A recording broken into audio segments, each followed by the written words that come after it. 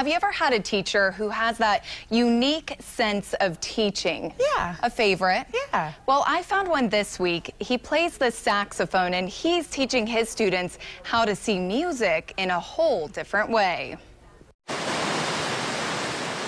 From the outside, the Straz Center is all about Broadway. On the inside, it's where Matt Weimueller is creating jazz stars. You know, you got to be careful that you don't put too much into it. He makes it so easy to play off of him because he lays down things really nicely and it's just easy to follow.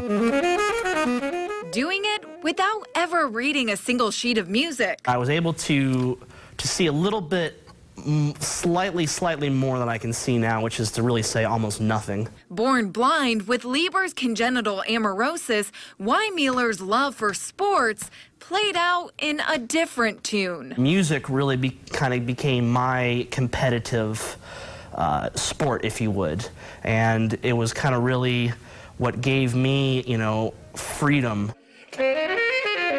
He learned not by Braille. A sheet of print music is about to be maybe five or six Braille pages.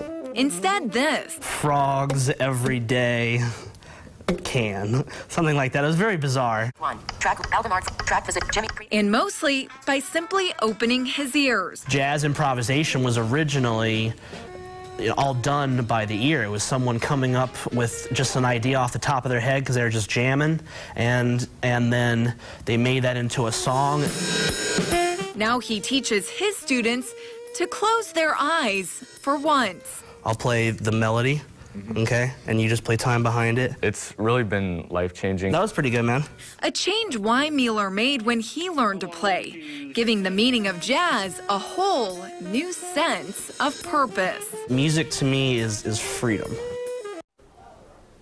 Well, if you want, you can see these students tonight at 6.30. They're going to have their annual Jazz Jam where they show off all of their unique techniques and everything they learned from him. Tickets are $10 and it goes to the Patel Conservatory at the Straz Center. Really an amazing story to do. I can't believe that. Completely worth the $10 to go hear them. Exactly. And it goes to a good cause, teaching more students. There you go.